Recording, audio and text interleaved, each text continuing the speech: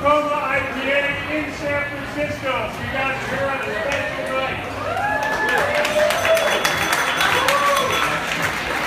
It's a seasonal release that we do every year.